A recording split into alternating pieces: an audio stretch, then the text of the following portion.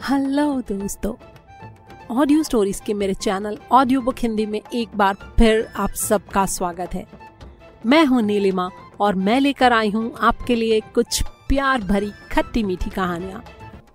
दोस्तों, आज आप सुनेंगे सर आर्थर कॉनन डॉयल की शर्लॉक होम्स सीरीज़ की एक और बहुत ही मशहूर और नायाब कहानी the adventure of the blue carbuncle Hindi में इसे नाम दिया गया है। नीली मणि का रहस्य। तो आइए कहानी शुरू करते हैं। क्रिसमस के बाद की ये दूसरी खुशगवार सुबह थी। जब मैं शर्लॉक के घर पहुँचा तो वो जामुनी रंग का ड्रेसिंग गाउन पहने सोफे पर बैठा था। उसके हाथ में एक बहुत ही गंदा और पुराना सा फेल्ट हैट था। काफ़ी पुराना होने के कारण वो हैट काफ़ी सख्त हो गया था और उस पर धूल जमी हुई साफ़ नज़र आ रही थी। किसी भी हालत में वो हैट पहनने के लायक तो कतई नहीं था। शर्लॉक बड़ी ही गहरी नज़रों से उसे देख रहा था। उसके सामने एक चिमटी और एक मैग्नीफाइंग लेंस रखा हुआ था। यानी कि यह साफ़ था कि या तो वो उस हैट की जाँच कर चुका है या करने वाला है। मैं जानता था, जब वो किसी चीज़ की छानबीन में बिज़ी होता है तो वो किसी से बात करना पसंद नहीं करता। इसलिए मैंने उससे पूछा, कहीं मैं तुम्हें डिस्टर्ब तो नहीं कर रहा, होम्स? अगर तुम कहो तो मैं बाद में आ जाऊँ। तुम बिल्कुल ठीक समय पर आए हो मेरे दोस्त। मैं अपनी जाँच पूरी कर चुका हूँ और अब उसके बारे में विचार विमर्श करने का समय है। ये तो बढ़िया बात है, लेकिन ये पुरानी धुरानी हैट है किसकी? और तुम्हारे पास कहाँ से आई? इसे लाने वाला तो कोई यहाँ नज़र नहीं आ रहा। और तुम इसकी जाँच क्यों कर रहे हो? आहा हा तुम तो जासूसों की तरह बातें करने लगे हो, मिस्टर वॉटसन। बढ़िया। अरे हाँ भाई, तुम्हारी संगत का थोड़ा बहुत असर तो मुझमें भी आएगा ही ना। कहते हुए मैं कुर्सी पर बैठ गया। बाहर खिड़कियों पर बर्फ़ जमी हुई थी और बर्फ़ की ठंडक से बचने के लिए कमरे में आग जल रही थी। होम्स ने हैट को अपने हाथ में घुमाते हुए कहा, मुझे लगता है इसके साथ एक रहस्यमयी कहानी जुड़ी हुई है। ये हैट है किसका? ये तो अभी मैं नहीं जानता।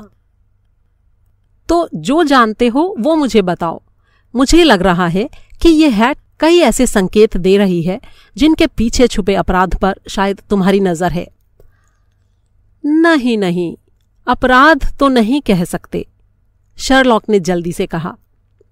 ये कुछ ऐसा लग रहा है जैसे बड़े बड़े शहरों में रहने वाले लाखों करोड़ों लोगों में से किसी एक के साथ कभी कोई छोटी सी घटना हो जाती है।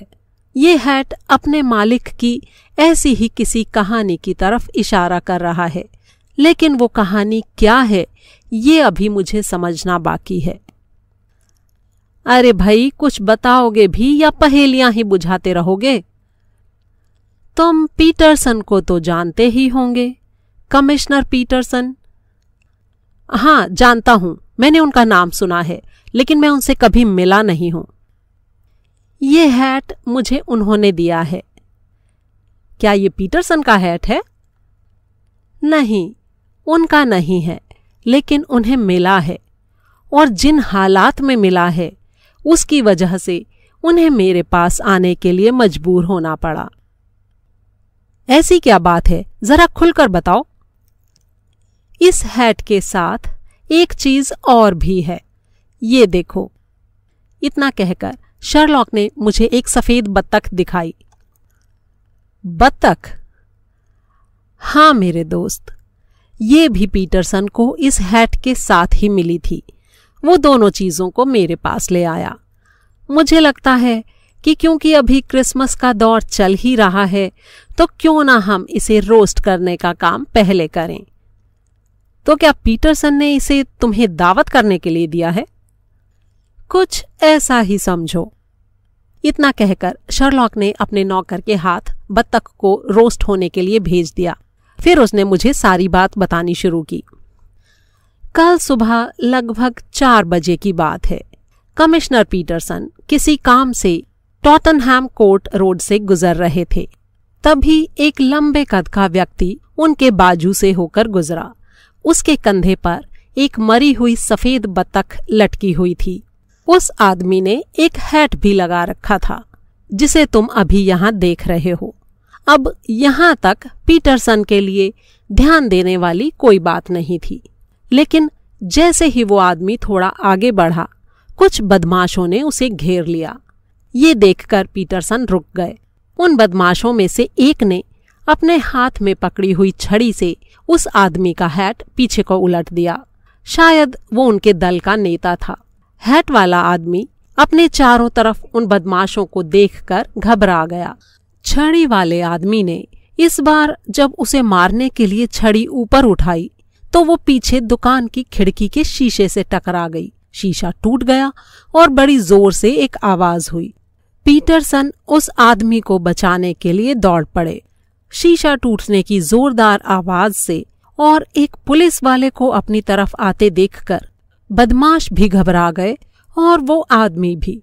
हैट वाला आदमी अपने कंधे पर पड़ी बतख को वहीं फेंक कर भाग गया। सारे बदमाश भी तुरंत वहाँ से नौ दो ग्यारह हो गए। जब पीटरसन ने देखा कि वे सब लोग भाग गए हैं तो उसने उस हैट और बत्तख को उठाया और यहाँ चला आया। वो मुझसे ये पता करना चाहते थे कि ये चीज़ें किसकी हैं, ताकि उसका पता लगाकर उसे ये लौटा दी जाएँ। तो क्या तुमने इन दोनों चीज़ों की जाँच करके इनके मालिक का पता लगा लिया? मैंने उत्सुकता से पूछा। इनकी जाँच से तो एक नए रहस्य का जन्म हो रहा है। कैसा रहस्य? मैंने उत्सुकता से पूछा। बत्तख के बाएँ पाँव पर एक कार्ड बंधा हुआ था। उस पर लिखा था, मिसेस हेनरी बेकर के लिए। होम्स ने बताया तो इसमें कौन सा अनोखा रहस्य है? मैंने लापरवाही से कंधे उचकाते हुए कहा, उस आदमी ने जो हैट पहना था, उसके अंदर अस्तर के कपड़े पर अंग्रेज़ी के दो अक्षर लिखे हैं, एच और बी। अब इन दोनों शब्दों से हेनरी बेकर भी बन सकता है। यानी, इस हैट वाले आदमी का नाम हेनरी बेकर हो सकता है। अब समस्या ये है कि इस शहर में सैकड़ों हेनरी बेकर हो सकते हैं। तो कैसे पता लगे कि इन चीज़ों का मालिक कौन है? सही हेनरी बेकर को ढूंढकर उसकी अमानत उस तक पहुंचाना आसान काम नहीं है। और फिर बत्तख को तो तुमने रोस्ट होने के लिए दे दिया। वो तो मैं बाद में बताऊँगा। लेकिन मेरे ख्याल से ऐसा करना ज़रूरी था। तो अब तुम उस आदमी का पता लगाकर उसका हैट उस तक कैसे पहुंचाओगे? मैंने इस हैट की बारीकी से जाँच की है और जाँच में मैंने उसका पता लगा लिया है। मज़ाक कर रहे हो? हैट से भला किसी की कैसे पहचान हो सकती है? उसी के लिए तो इस लेंस को मंगवाया था मैंने। लेकिन केवल एक हैट से किसी की पहचान करना कैसे संभव है भला? जरा इसे ध्यान से देखो। मैंने हैट को उठा लिया और उसे बहुत ध्यान से देखा। वो एक साधारण सा काले रंग का गोल हैट था। सभी हैट गोल ही होते हैं। वो बेहद गंदा था। मैंने उसे चारों तरफ़ इधर उधर घुमाकर कई बार देखा, लेकिन मुझे उसमें कोई भी ऐसी खास चीज़ नहीं दिखाई पड़ी जो किसी की पहचान को उजागर करती हो। उस पर हैट बनाने वाली कंपनी का नाम तक नहीं लिखा था। एक साइड में इंग्लिश के एच और बी अक्षर अवश्य लिखे थे, लेकिन उनसे भला क्या पता चल सकता था? इसका कुछ भी मतलब हो सकता था। ठोड़ी पर बांधने वाला उसका इलास्टिक भी टूटा हुआ था। और हैट इतना मैला था कि कई जगह से उसके धब्बे छुपाने के लिए उस पर काला रंग लगाया गया था। मैंने हैट को शर्लॉक को वापस लौटाते हुए कहा, मुझे तो इसमें कुछ भी खास नहीं दिखाई पड़ रहा है। मेरे प्यारे दोस्त वॉटसन, दिखाई तो इसमें सब कुछ पड़ रहा है, लेकिन तुम्हें नज़र नहीं आ रहा है। हाँ बाबा, मालूम है, मेरे पास तुम्हारे जैसी नज़र नहीं है। बस, खुश, चलो अब बताओ, तुम्हें इसमें क्या दिखाई दिया? उसने हैट को मेरे हाथ से ले लिया और उस हैट की विशेषताएँ बताने लगा। सुनो मेरे प्यारे दोस्त वॉटसन, इसे पहनने वाला इंसान कभी बहुत पैसे वाला रहा होगा। पिछले तीन सालों तक उसकी हालत अच्छी रही होगी। लेकिन अब कुछ समय से वो अपनी ज़िंदगी में बुरे दौर से गुजर रहा है। ये इंसान लोगों की नज़रों में अपने आत्मसम्मान को बनाए रखना चाहता है। इसके बाल स्लेटी रंग के हैं और इसने अभी कुछ दिनों पहले ही अपने बाल कटवाए हैं। इसका माथा चौड़ा है और सिर बड़ा है।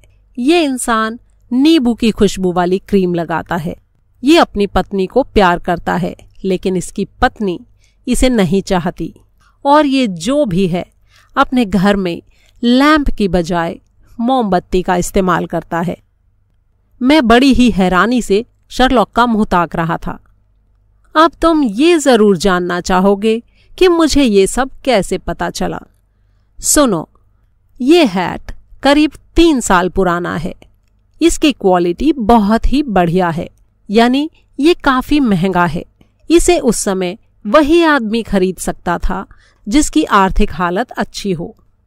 लेकिन यदि इस इंसान ने हैट के खराब होने के बाद भी दूसरा कोई हैट नहीं खरीदा, उसी हैट से काम चला रहा है तो इसका सिर्फ़ एक ही मतलब हो सकता है कि आगे चलकर इसकी आर्थिक हालत खराब हो गई होगी।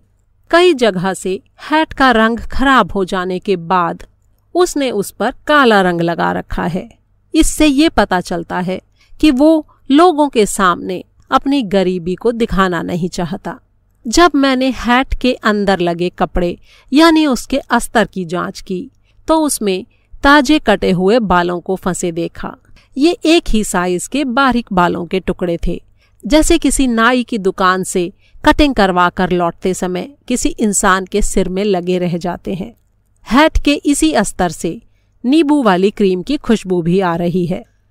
लेकिन तुमने ये कैसे पता लगाया कि उसकी पत्नी उसे प्यार नहीं करती? क्या पता उसकी पत्नी हो ही नहीं? वो कुंवारा भी तो हो सकता है। नहीं मेरे दोस्त, वो कुंवारा बिल्कुल नहीं है। इस हैट पर धूल की एक मोटी परत जमी हुई है। ये धूल ब्राउन कलर की है, जैसे कि आमतौर पर घरों में पाई जाती है। बाहर सड़कों पर जो धूल होती है, वो काली या स्लेटी रंग की होती है, और किसी भी चीज़ पर धूल तभी जमती है जब उसकी देखभाल ना की जा रही हो। कोई भी पत्नी जो अपने पति को प्यार करती होगी, वो हमेशा उसकी हैट को साफ़ करके रखेगी। ये हैट काफ़ी दिन तक घर के भीतर कहीं यूँ ही पड़ी रही होगी। अगर उसकी पत्नी उसका ध्यान रखती तो इस पर धूल नज़र नहीं आती। और ये बात तो बिल्कुल मानने लायक नहीं है कि उसकी पत्नी नहीं है या वो कुंवारा है। उसके कंधे पर जो बत्तख थी, उसे वो अपनी पत्नी को ही भेंट में देने के लिए ले जा रहा था। जरा याद करो, बत्तख के पंजे में बंधा हुआ वो कार्ड जिस पर लिखा था मिसेस हेनरी बेकर के लिए। वाह, तुमने तो कमाल कर दिया शर्लॉक। तुम्हारा विश्लेषण कितना सटीक होता है। एकदम लाजवाब। लेकिन ये तो बताओ कि मोमबत्ती जलाने की बात तुम्हें कैसे पता लगी? बहुत आसान था।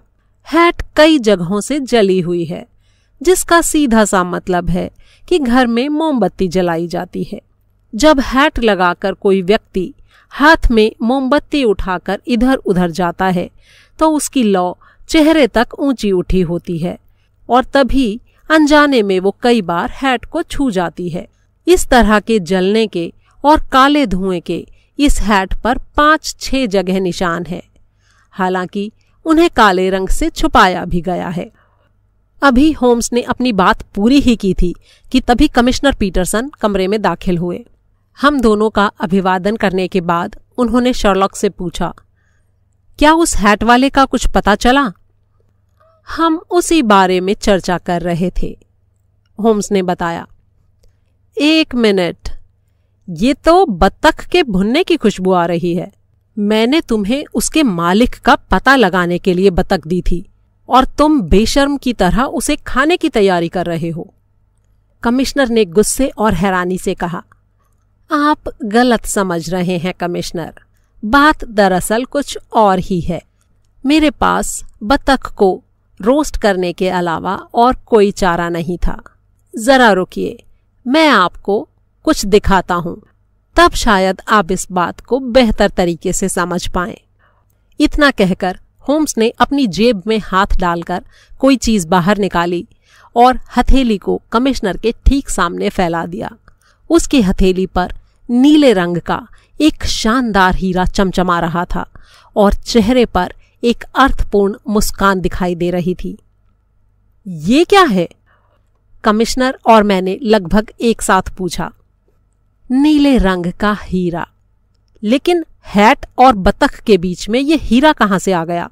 क्या ये हैट में था? जी नहीं, ये बतख में था। बतख में था क्या मतलब? अब ये मत कहना कि तुम जानवरों के अंदर भी झाँक कर देख सकते हो।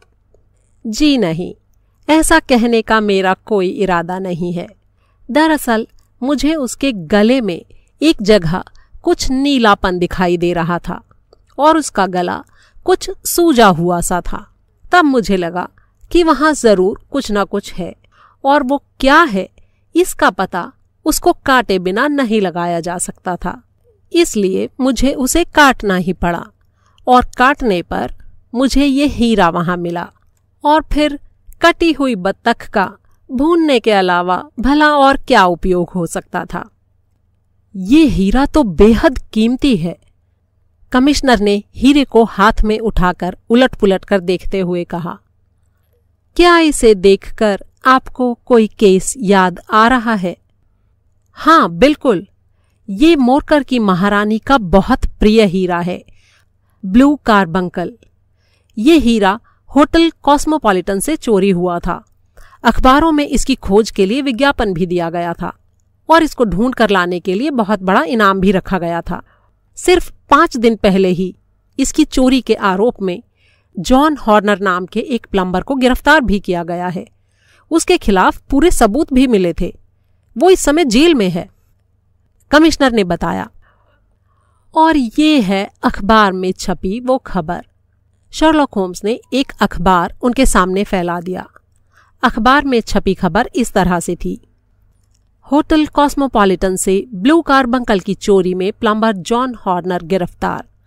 हमारे सूत्रों से मिली जानकारी के मुताबिक होटल के मुख्य अटेंडेंट जेम्स राइडर ने इस बात का सबूत दिया कि प्लम्बर जॉन हॉर्नर उस दिन महारानी के ड्रेसिंग रूम में गया था।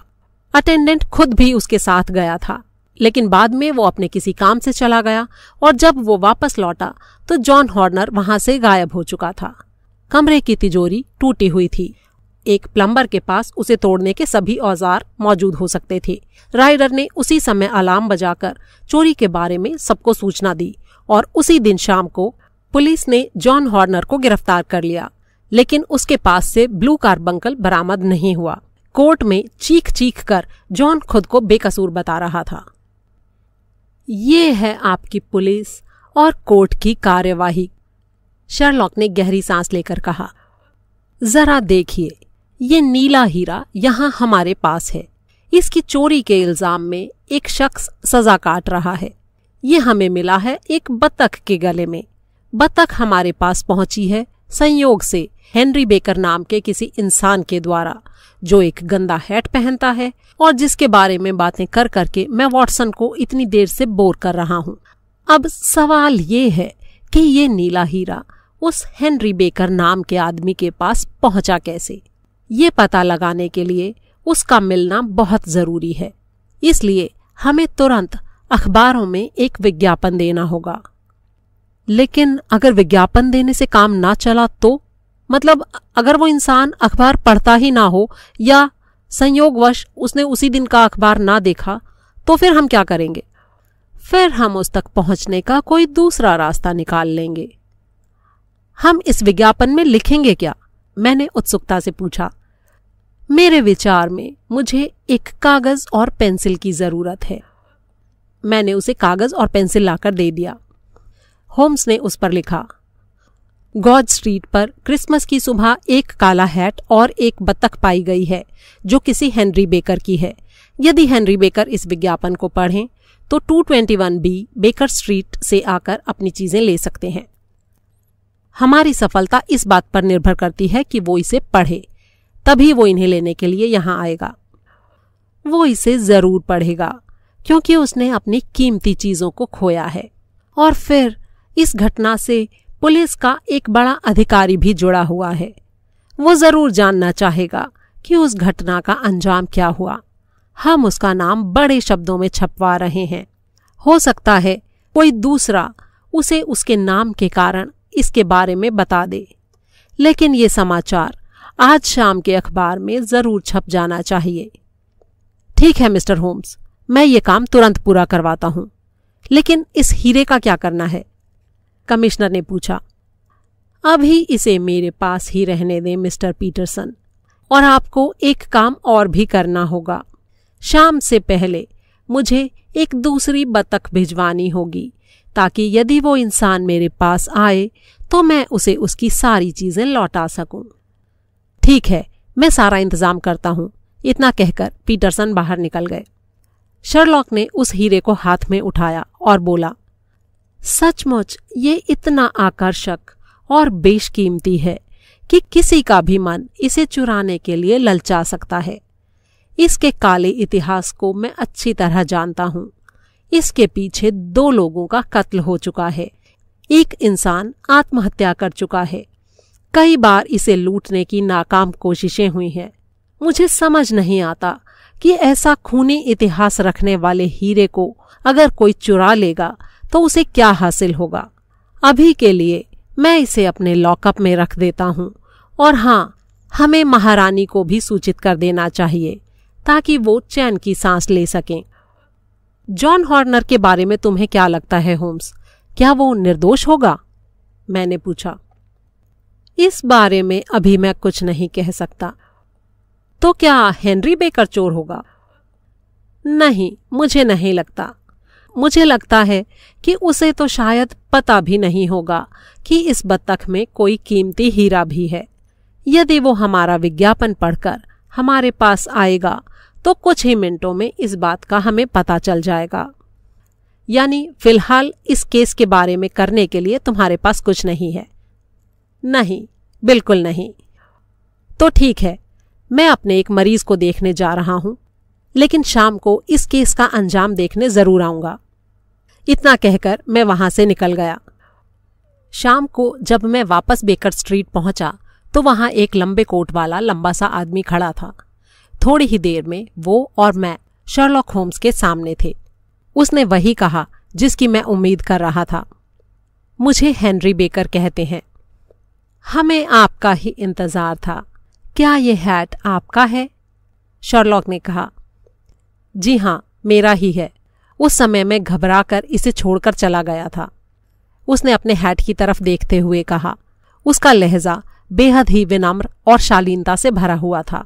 उसके बाल छोटे छोटे थे और उसने कुछ दिन पहले ही कटिंग करवाई थी, जैसा कि शर्लॉक ने बताया था। हमने आपका हैट तो संभाल कर रखा, लेकिन आपकी बतख को हम खा गए। इतनी देर तक उसे संभाल कर रखना संभव नहीं था। ओह दरअसल उसे मैं अपनी पत्नी को उपहार में देना चाहता था। वो काफ़ी दिनों से भुनी हुई बत्तख खाने की इच्छा ज़ाहिर कर रही थी, लेकिन उसे खरीद पाने की मेरी हैसियत नहीं थी। खुशकिस्मती से किसी तरह उसका इंतज़ाम हो पाया था। लेकिन खैर, मैं तो दोनों ही चीज़ों को खो चुका था। अब कम से कम मुझे मेरा हैट तो मिला। ये मेरे पुराने अच्छे दिनों की इकलौती यादगार है, हेनरी बेकर ने कहा। वैसे हमने आपके लिए दूसरी बत्तख का इंतज़ाम करवा दिया है। लेकिन फिर भी, अगर आप चाहें तो हमने उसके टूटे हुए पंख, पंजे, चोंच और पेट की आंतें वगैरह संभाल कर रखे हैं। आप चाहें तो उन्हें ले सकते हैं। शर्लॉक ने ऐसा बेहुदा मज़ाक क्यों किया? ये मेरी समझ के बाहर था। ऐसी बात सुनकर वो आदमी भी थोड़ा सिटपिटा गया। आप शायद मज़ाक कर रहे हैं। जी हाँ, मैं मज़ाक ही कर रहा था, शर्लॉक ने कहा। अब आप अपनी हैट ले सकते हैं, और वो रही आपकी बत्तख। आपका बहुत बहुत धन्यवाद, हेनरी ने कहा। क्या आप मुझे बता सकते हैं कि आपने वो प्यारी बत्तख कहाँ से खरीदी थी? वो एक बड़ी ही अच्छी किस्म की बत्तख थी, मुझे अक्सर खरीदनी होती है। तो मैं सोच रहा हूँ कि भविष्य में मैं भी वहीं से खरीदूँगा। होम्स ने बेकर से प्रश्न किया। इसके लिए आपको गूज क्लब का मेंबर बनना होगा। ये क्लब अल्फ़ा इनके पास है। धन्यवाद, मिस्टर हेनरी। ठीक है तो मैं चलता हूँ। इतना कहकर हेनरी वहाँ से चला गया। मैंने प्रश्नवाचक निगाहों से शर्लॉक की तरफ़ देखकर पूछा, जब वो यहाँ आ ही गया था तो तुमने उसे जाने क्यों दिया? क्योंकि मैं उसे देखकर ही समझ गया था कि वो हीरे के बारे में कुछ नहीं जानता। इसीलिए मैंने उसे बत्तख के पंख और पंजे आदि ले जाने की बात कही थी। अगर उसे हीरे के बारे में पता होता तो वो ज़रूर उस कचरे को ले जाने की कोशिश करता, क्योंकि उसे उम्मीद होती कि उसमें उसे उसका हीरा शायद मिल जाए। और वैसे भी, अगर उसे मालूम था कि बत्तख के अंदर इतना कीमती हीरा था तो वो उसे यूँ छोड़कर पल भर में भाग न जाता। उसे वापस पाने की कोई ना कोई कोशिश वो ज़रूर करता। मैंने सहमति में सिर हिला दिया। इसके बाद पंद्रह मिनट में हम लोग एल्फा इन पर बने गूस क्लब में पहुँच गए। इस क्लब का नाम था ब्लूम्सबरी। वहाँ पहुंचकर होम्स ने दो गिलास बियर का ऑर्डर दिया। जब वेटर बिल लेकर आया तो शर्लॉक ने उससे कहा, आपकी बियर भी आपकी बतख की ही तरह स्वादिष्ट थी। क्या मतलब? हम लोग बतख नहीं बेचते, सर, वेटर ने कहा। हाँ हाँ मैं जानता हूँ। हमें अभी कुछ देर पहले ही मिस्टर हेनरी बेकर ने आपके क्लब के बारे में बताया है। वो आपके क्लब के सदस्य हैं। ओह अच्छा लेकिन वो बत्तखें हमारे क्लब में नहीं पाली जाती, सर। मैंने क्लब के सदस्यों के लिए करीब दो दर्जन बत्तखें कॉवेंट गार्डन मार्केट के एक व्यापारी ब्रेकन रिज से खरीदी थी। उसके बाद हम दोनों वहाँ से कॉवेंट गार्डन मार्केट के लिए चल पड़े। शर्लॉक ने कहा, अब इस ब्रेकन रिज की तलाश करनी होगी, क्योंकि इस केस में एक निर्दोष इंसान को सात साल की सजा हो सकती है। मुझे लगता है कि पुलिस ने अपनी जाँच ठीक तरह से नहीं की। यदि मैं ऐसा कर सकूँ तो हो सकता है कि हम उस प्लम्बर जॉन हॉर्नर के खिलाफ कोई पुख्ता सबूत ढूंढ सकें, या फिर हो सकता है कि वो निर्दोष साबित हो। जल्दी ही हम कॉवेंट गार्डन मार्केट में एक दुकान के सामने खड़े थे, जिस पर ब्रेकिन रिज का नाम लिखा था। हमें इसी एजेंट की तलाश थी। उस समय वो अपनी दुकान बंद कर रहा था। होम्स लपक कर उसके पास पहुँचा और अपने चिर परिचित अंदाज में बोला, नमस्कार महोदय, आप कैसे हैं? आज काफ़ी ठंड है। उस व्यक्ति ने अपना सिर हिलाया और सवालिया निगाहों से होम्स की तरफ़ देखा। होम्स ने उसकी दुकान के खाली स्लैब की तरफ़ इशारा करते हुए कहा, मैं यहाँ बत्तख लेने आया था, लेकिन लगता है आपकी सारी बत्तखें बिक चुकी हैं। हाँ अभी तो नहीं मिलेंगी, लेकिन सुबह जितनी चाहें ले लीजिएगा। दुकानदार ने कहा, ओह, आप तो मुझे निराश कर रहे हैं। मैं किसी की सिफारिश पर बड़ी दूर से यहाँ आपके पास बत्तख लेने आया था। किसकी सिफारिश पर? अल्फ़ा के मालिक की। ओ हाँ मैंने उसे एक दर्जन बत्तखें बेची थीं। बड़ी ही नायाब बत्तखें थी वो। आपको वो कहाँ से मिली थी?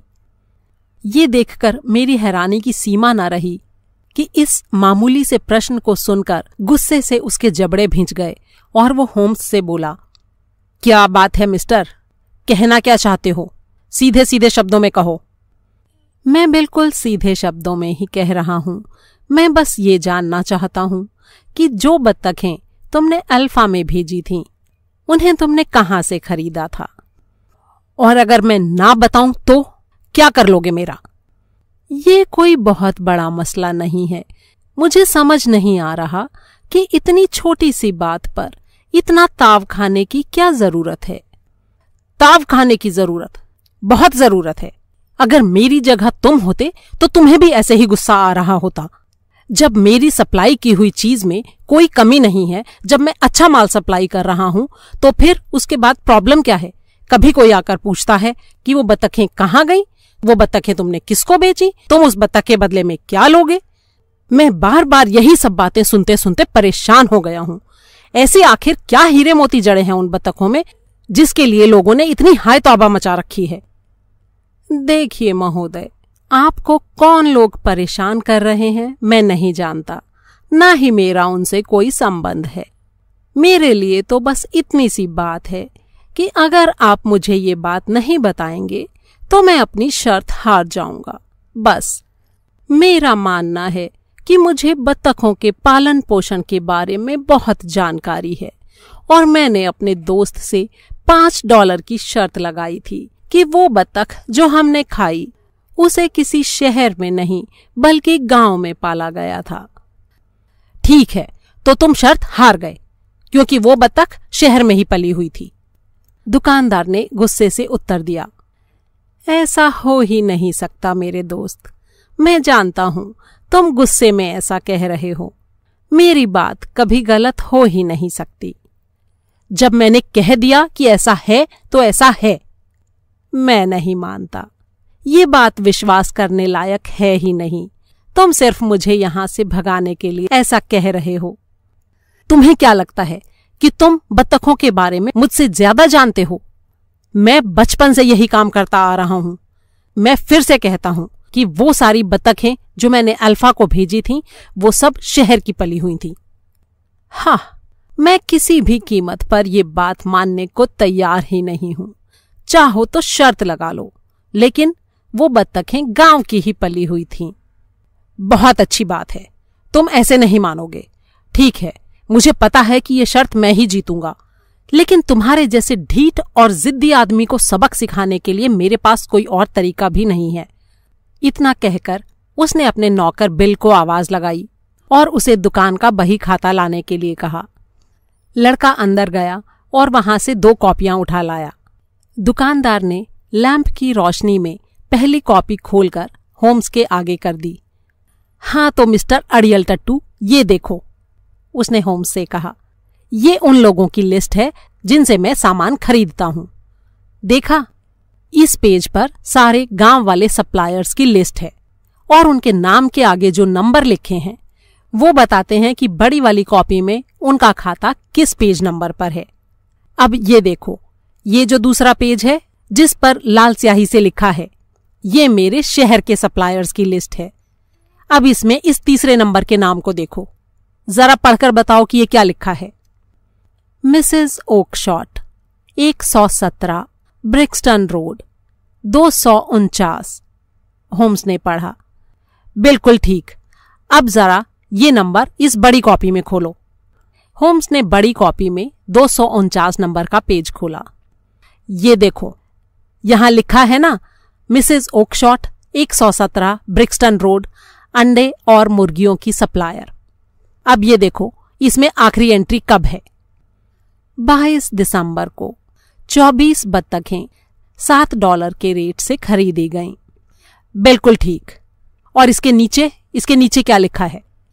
अल्फ़ा क्लब के मिस्टर विंडीगेट को बारह डॉलर के रेट पर बेची गई। मिल गया जीता जागता सबूत। अब बोलो, अब तुम्हें क्या कहना है? होम्स का चेहरा ऐसे उतर गया जैसे कोई मर गया हो।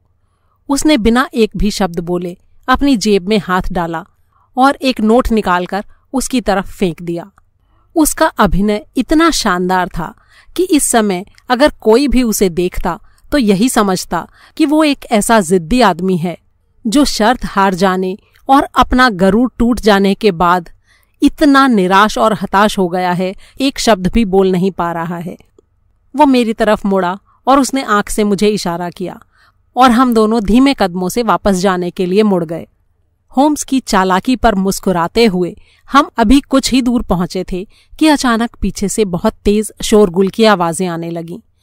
हमने तुरंत पीछे मुड़कर देखा तो उसी दुकान पर झगड़ा हो रहा था। हम तेज़ी से वापस वहाँ पहुँचे और हमने देखा कि एक भारी चेहरे वाला व्यक्ति ब्रेकन रिज से झगड़ा कर रहा था।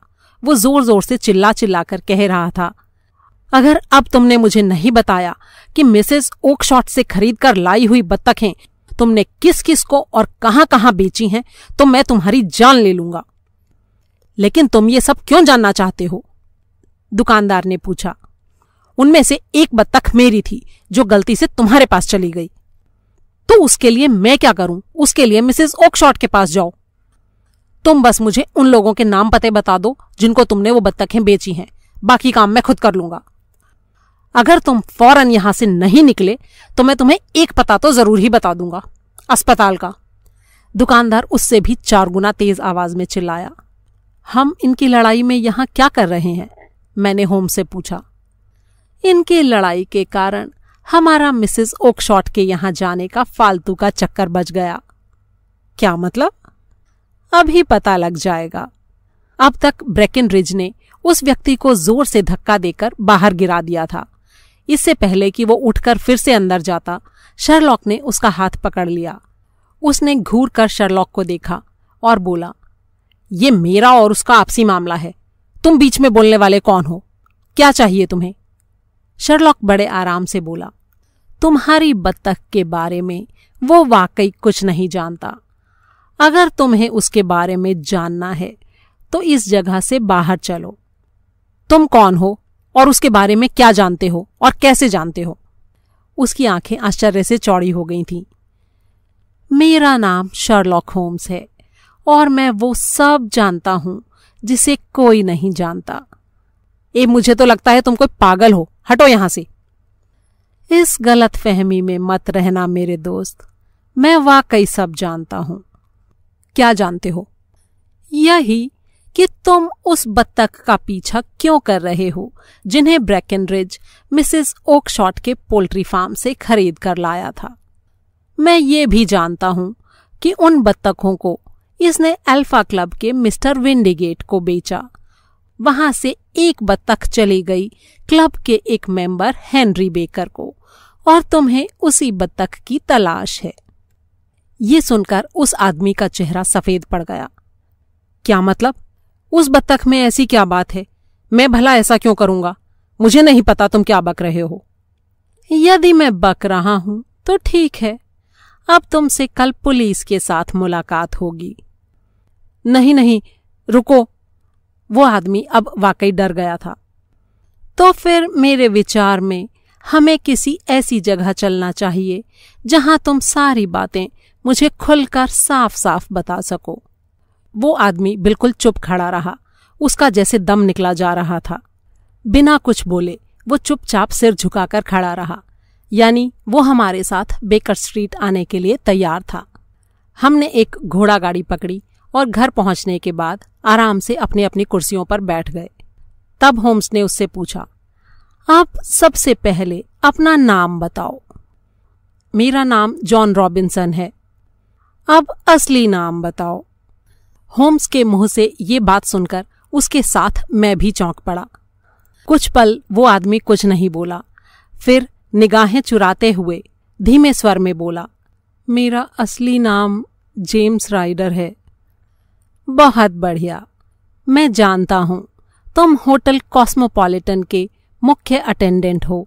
अब मुझे वो सारी बातें ये सोचकर बताते चलो कि मैं पहले से ही सब कुछ जानता हूँ। इसलिए मुझसे कुछ भी छुपाने की कोशिश मत करना। जी, मैं समझ गया, उसने कहा। तो सबसे पहले ये बताओ कि क्या तुम्हें एक विशेष बत्तख की तलाश है? उस बत्तख की जिसकी पूंछ पर एक काली लाइन है? जी हाँ, पता नहीं वो कहाँ चली गई। क्या आपको मालूम है? वो यहाँ आ गई, मेरे पास। यहाँ? आपके पास? हाँ, वो बड़ी ही नायाब बत्तख थी। भले ही वो मरी हुई थी, लेकिन यहाँ आकर उसने नीले रंग का एक चमचमाता हुआ अंडा दिया। अंडा? डर के मारे उस आदमी का चेहरा पीला पड़ गया था। हाँ, लो, तुम भी उसे देखो। इतना कहकर शर्लॉक ने वो नीला हीरा निकालकर उसकी आँखों के सामने कर दिया। वो भौचक्का रह गया। तो मिस्टर राइडर, तुम पहचान ही गए होंगे कि ये हीरा मोरकर की महारानी का है, जिसे पिछले दिनों चुरा लिया गया था। और इसकी चोरी के इल्ज़ाम में एक निर्दोष प्लम्बर जेल में बंद है। तुम ये भी समझ गए होंगे कि अब तुम्हारा खेल खत्म हो चुका है। सारी सच्चाई सामने आ चुकी है। बस कुछ चीज़ों से पर्दा उठना बाकी है और वो पर्दा तुम उठाओगे। ये सुनते ही जेम्स राइडर शर्लॉक के पैरों पर गिर पड़ा और रोने और गिड़गिड़ाने लगा। प्लीज़ मुझ पर रहम कीजिए। मेरे बूढ़े माता पिता के बारे में सोचिए। अगर मुझे जेल हो गई तो वे रो रो कर मर जाएँगे। मैं सौगंध खाता हूँ। आगे से कभी ऐसा कोई काम नहीं करूँगा। हीरे को चुराने के बाद से ही मेरी आत्मा मुझे धिक्कार रही है। महारानी की मेड कैथरीन ने मुझे उस हीरे के बारे में बताया और उसकी इतनी तारीफ़ की कि मेरा दिल ललचा गया। मैंने रातों रात अमीर बन जाने की योजना बना ली। पुलिस को धोखा देने के लिए मैंने प्लम्बर जॉन हॉर्नर को बाथरूम की फिटिंग ठीक करने के लिए वहाँ भेजा और वो बेचारा इस जाल में फंस भी गया। लेकिन तब से मेरी आत्मा पर बहुत भारी बोझ है। मैं हीरे को इसलिए ढूंढ रहा था ताकि उसे पुलिस तक पहुंचाकर जॉन को जेल से छुड़वा सकूँ। मेरी बात का यकीन कीजिए, मैं सब कुछ बता दूँगा, लेकिन प्लीज़ मुझे पुलिस के हवाले मत कीजिए। इसके बारे में हम बाद में बात करेंगे। फ़िलहाल तो मुझे ये बताओ कि ये हीरा बत्तख में कैसे पहुँचा और बत्तख बिकने के लिए बाज़ार में कैसे पहुँची। जेम्स राइडर ने पास पड़े पानी के ग्लास से एक घूंट पानी पिया और बोलने लगा, मैं आपको बताता हूँ कि क्या कैसे हुआ। मैं कोई पेशेवर अपराधी नहीं हूँ। इसलिए हीरे को चुराने के बाद मेरे सामने सबसे बड़ी समस्या थी कि मैं इसे पुलिस और दूसरे लुटेरों से छुपाकर कहाँ और कैसे रखूँ। अगर किसी को इसके बारे में पता चल जाता तो शायद वो मुझे मार ही डालता। मैं एक ऐसे आदमी को जानता था, जो इस हीरे को बिकवाने में मेरी मदद कर सकता था, लेकिन वो बहुत दूर किलबर्न में रहता था। वहाँ तक हीरे को ले जाने के लिए उसे छुपाकर ले जाना ज़रूरी था। मुझे लगा, ये बहुत मुश्किल काम है।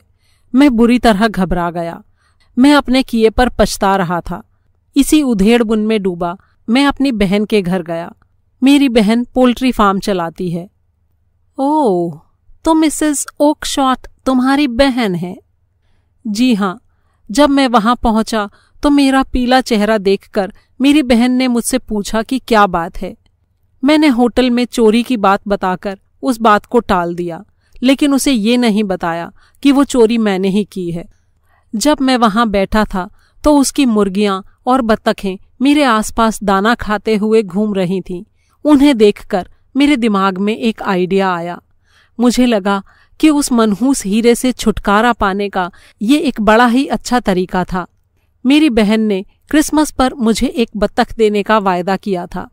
मैंने वो हीरा, एक खास निशान वाली एक बत्तख को खिला दिया। ये सोचकर कि जब मेरी बहन मुझे बत्तख लेने को कहेगी तो मैं आकर इसी को ही ले जाऊँगा। मैंने हीरे को बत्तख के गले से जब नीचे उतरते हुए देख लिया तो चैन की सांस ली। कुछ देर बाद मैंने अपनी बहन को उसका वायदा याद दिलाया। उसने मुझसे पूछा कि मुझे कौन सी बत्तख चाहिए? मैंने उसे बताया कि मुझे सफ़ेद रंग की बत्तख चाहिए, जिसकी पूंछ पर एक काली लकीर हो। उसने कहा कि मैं अपनी पसंद से जो चाहे बतख उनमें से छांट लूँ। मेरी खुशी का ठिकाना न था। मैंने काली लकीर वाली सफ़ेद बत्तख को पकड़ा और घर आकर उसे मार डाला। लेकिन मैं ये देखकर हैरान रह गया कि उसके अंदर हीरा नहीं था। मैंने बड़ी बारीकी से उसके एक एक हिस्से की जाँच की लेकिन हीरा उसमें था ही नहीं तो मिलता कहाँ से? मुझे लगा कि मैं गलत बत्तख ले आया हूँ। मैं तुरंत भागा भागा अपनी बहन के यहाँ वापस गया लेकिन वहाँ अब एक भी बत्तख नहीं थी। ये देखकर मैं दहशत के मारे चिल्ला पड़ा। वो सारी बत्तखें कहाँ चली गईं? वो सब तो बिक गईं, मेरी बहन ने कहा। उन्हें कौन ले गया? मेरा परमानेंट ग्राहक ब्रेकिनरिज। ओफो! क्या उसमें एक और ऐसी बत्तख थी जिसकी पूंछ पर काली धारी हो? हाँ एक और थी। क्या हुआ? तुम क्यों पूछ रहे हो? मेरी बहन ने पूछा। कुछ नहीं, मुझे वैसी ही एक बत्तख और चाहिए थी जोड़ा बनाने के लिए। मैं तेज़ी से भागा भागा ब्रेकन रिज के पास पहुँचा और उससे बत्तख के बारे में पूछा। वो दिमाग का थोड़ा अक्खड़ था। उसके पास कुछ ही बत्तखें बची थीं। उसने किसको दी थीं? या तो ये बात वो जानता नहीं था या बताना नहीं चाहता था। उसने बड़ी मुश्किल से एक दो के बारे में बताया, लेकिन जब मैं उनके मालिकों के पास पहुँचा तो उनमें वो बत्तख नहीं थी। ब्रेकन रिज मुझे सारी बत्तखों के बारे में नहीं बता रहा था, इसलिए मुझे उस पर गुस्सा आ गया और मैंने उस वक्त उसका गला पकड़ लिया था। संयोग से आप भी उस वक्त वहीं थे। उसके बाद की कहानी तो आपको मालूम ही है। हम्म अब तुम एक काम करो, तुम यहाँ से तुरंत चले जाओ। क्या मतलब? मैं कुछ समझा नहीं। वो हैरानी से शर्लॉक का चेहरा देख रहा था। कुछ कहने की ज़रूरत नहीं। चले जाओ यहाँ से। जेम्स राइडर बिना कुछ बोले वहाँ से चला गया। तो तुमने देखा, वॉटसन, कि आखिर हमारे हाथ असली अपराधी तक पहुँच ही गए। होम्स ने मुझसे कहा, हाँ, वो तो मैंने देखा, लेकिन तुमने उसे जाने क्यों दिया? देखो मेरे दोस्त, ये बात बिल्कुल सच है कि इसने एक निर्दोष को मुसीबत में डाला था, लेकिन फिर भी मैंने उसे जाने दिया, क्योंकि उसे अपनी गलती का एहसास हो गया था। वो बहुत डरा हुआ था और उसकी आँखों में सच्चा पश्चाताप था। वो भविष्य में ऐसी गलती कभी नहीं करेगा। सजा का अर्थ व्यक्ति में सुधार लाना होता है और फिर ये क्रिसमस का अवसर है, यानी क्षमा करने का दिन। हीरा मिल चुका है और हीरा एक बत्तख के पेट से मिला है। ये बात कमिश्नर पीटरसन का बयान साबित कर देगा। जॉन हॉर्नर के खिलाफ कोई पुख्ता सबूत नहीं है इसलिए अदालत की कार्यवाही में वो निश्चित ही छूट जाएगा। और ये मैं अच्छी तरह जानता हूँ कि पुलिस इतनी पक्की इन्वेस्टिगेशन करके कभी उस कहानी तक नहीं पहुँच पाएगी जहाँ तक तुम जा पहुँचे हो, क्योंकि तुम the great detective Sherlock Holmes हो, और शर्लॉक होम्स की आँखों से कुछ छुपा नहीं रहता। मैंने बड़े ही नाटकीय अंदाज में कहा ये तुम्हारे व्यक्तिगत विचार हैं मेरे दोस्त। इस बारे में मैं कुछ नहीं कहूँगा। और अब जब सारा काम हो चुका है तो क्यों ना हम उन बाकी की बत्तखों का पीछा करना छोड़कर सिर्फ़ उस एक का पीछा करें, जो न जाने कब से रसोई में हमारा इंतज़ार कर रही है। दोस्तों, ये कहानी आपको कैसी लगी? इसके बारे में अपनी राय मेरे साथ कमेंट बॉक्स में शेयर करना ना भूलें। जल्दी ही एक और खूबसूरत कहानी के साथ आपसे फिर मुलाकात होगी। तब तक के लिए अलविदा।